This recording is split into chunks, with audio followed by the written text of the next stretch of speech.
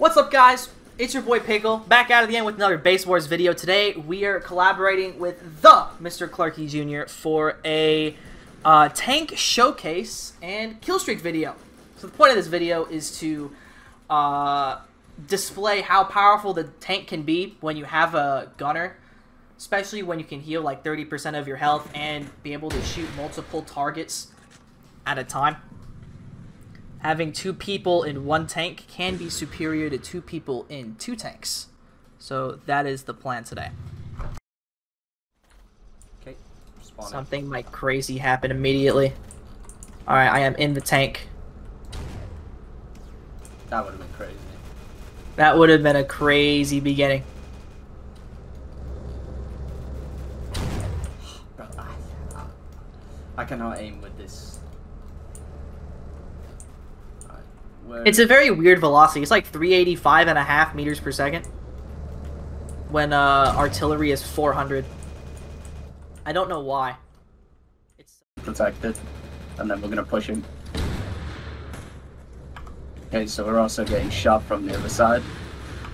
I'm gonna drive away from him. It's an AV turret. Oh, he's super low. There we go. Uh, There we go.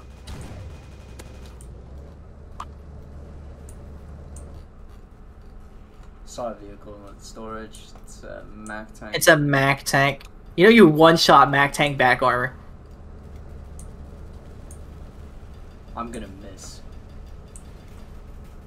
Oh, shoot him, shoot him, shoot him. I oh my I- I god, told you. I, I told you, I told you. I predict the future. I'll just run him over. There you go. Jobs are good in. A kill is a kill.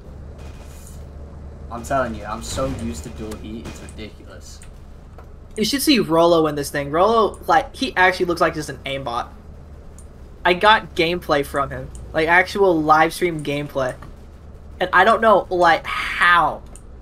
But he just knows where to aim. This guy in the window, like, stuck Yeah, I see him. What? Okay, splash kill. I shot him, like, two times with the machine gun.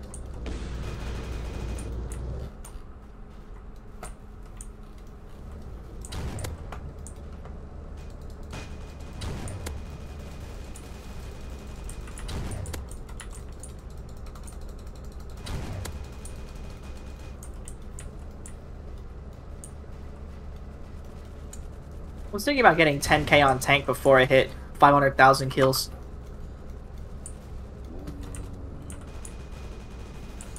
You know what? Now that you mention it, I am insanely close to my 100k vortex again. Really? Yeah, like 40 kills? Bro, That is insanely close, actually. How many total do you have? That's uh, not bad. You have like what 40% on Vortex. Mac honestly has about the same.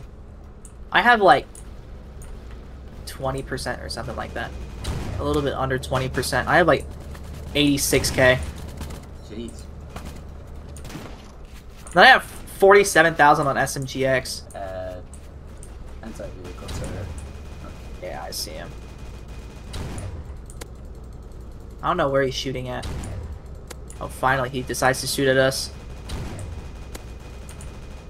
Uh, Guy What was side. Yeah, that was, he's uh, on the oh, side. yeah, he, he's literally just pot shotting us. Cool. No. So ATV's gonna ignore us.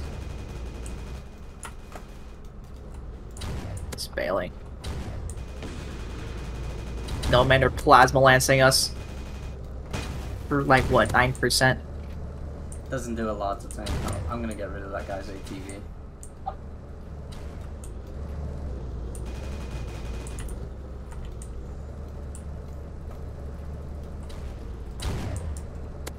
So I think He's in the AP turret behind the.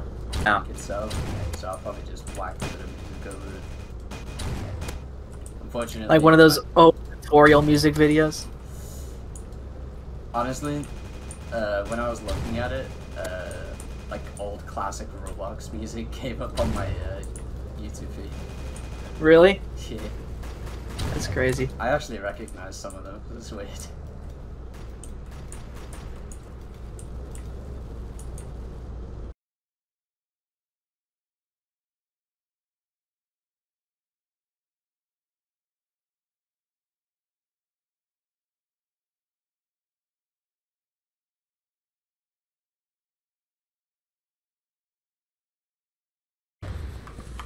Uh, basically, heat is your best bet for an all-round kind of average damage, average splash damage, okay reload, okay burst DPS. It's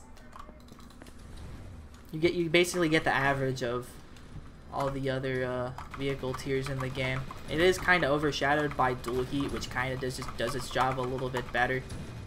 But oh, I just got clipped. Auto cannon. Uh, auto cannon has the best, technically the best DPS, but the burst damage is so low and it is slightly inaccurate that it doesn't really make up for it in, in any way. It's literally just is how it is. It's not really worth it. Like, you can bunker camp with it because of the high splash damage, but besides that, I really just don't think it's worth it. Uh, armor piercing is probably the best one. It's because of the high burst damage. Um, and its ability to one-shot, like, attack helicopter and bomber is very, very useful. Especially because a main weakness of battle tanks is the, um, it's not very capable of taking out aircraft because of the angle limits. So when you're able to one-shot it like that before it can get out of your angle limit, it's very useful. Um, what's next? High explosive. It actually has a really quick reload. It's like 1.75 seconds. So it is very useful for just a lot of splash damage DPS very, very quickly. Like, it does like 1700 splash damage. So you're able to one-shot splash most armors in the game, including shield armor. And you're just able to spam left-click into the, uh... Into the, uh... Like a bunker, even in the enemy base, you could literally just click the ceiling and you'll be able to get kills. Railgun isn't very good. It has the most damage per shot out of anything, but it's just that the reload is 4 seconds, so it has less effective DPS than AP, and doesn't one-shot anything that AP doesn't. So really all you're using it for is long range, because it has the higher velocity, it has above average velocity. So it technically has longer range, but just the long reload and the poor DPS because of that just makes it not worth it, in my opinion. And then as for the secondaries, um, the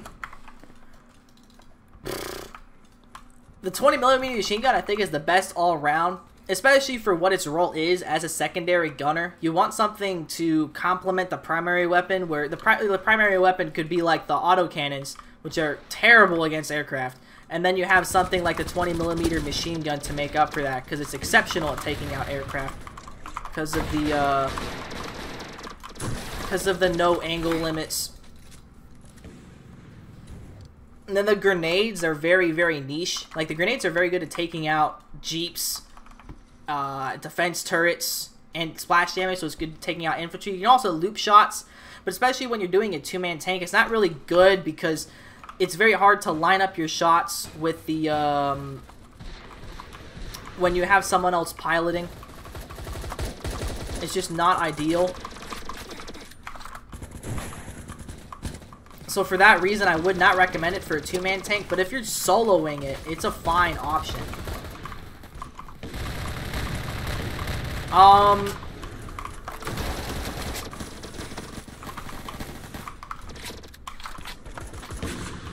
What's next? Plasma Lance. It's a very good long-range weapon. Like, if you're doing Railgun and Plasma Lance, and you're base camping, that's fine. Uh, because you're, you're literally just going to be able to outperform anyone else at long range. The uh, chain gun is probably the second best thing on here. It, especially, it, it, would be the best thing if you didn't have to deal with aircraft because of just its absurd DPS against everything, including aircraft. It just has a slightly lower velocity and poor range, so it's not very good against uh, aircraft, especially long-ranged aircrafts like trackers or attack helicopters. Are going to be having a very hard time hitting that, uh, especially with the whole angle limit thing that tank has it is just not. Uh, I, I don't think it's worth it to use uh, if you're trying to fight aircraft. But if you're just trying to fight like defense turrets or tanks and artillery just trying to rush you, I think the guaranteed close range DPS is something that's really hard to pass up. Uh, that combined with the very, very high ammo capacity, it makes it for a very easy to use weapon. And it is something that I highly recommend using if you are uh, uh, two-manning specifically.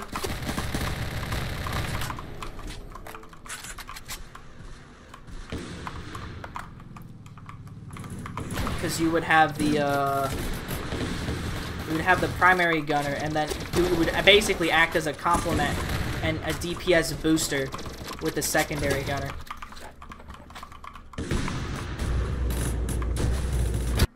Uh, front armor, I, I personally don't run it, but I know people that do. It's very nice, especially when you're trying to hold W. Like when you're fighting one opponent at a time, and you're just able to turn that front armor. I think front armor has a slightly better resistance than side armor as well. Overall. And it just dramatically reduces your damage, uh, your damage intake when you're trying to one-on-one -on -one someone. And then for the side armor, it technically covers more of your tank than the front armor. It just covers it in a less ideal area uh, when you're trying to one-on-one -on -one someone and you just can't quite and you can't hold W. It would be better for people who like strafing in tanks, I think. I personally run it because it, it's just I think it's just a little bit better to have that insurance that you know if you're strafing against someone and someone does come up like immediately behind you where you can't see them, you have armor back there. Because you'll be able to, your camo will be able to cover your side flank. So you'll see someone trying to shoot your side, or your technically what would be your back flank. Which is your weak armor.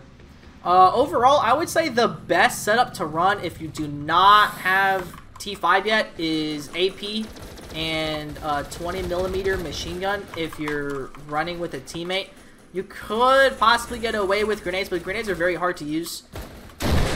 But I, I, would try them out. And then for tier 5 users, I recommend uh, Dual Heat as it has the best DPS. And the burst damage isn't even that bad. And you have the splash damage of high explosive anti-tank rounds. So I would use that. And then I would also, I would go back and forth between chain gun and 20 millimeter machine gun. It just really depends on who you're trying to fight. Like, if there are planes coming after you, I would use 20 millimeter machine gun. But if there aren't, just use the uh, chain gun for the guaranteed, long-lasting, high DPS.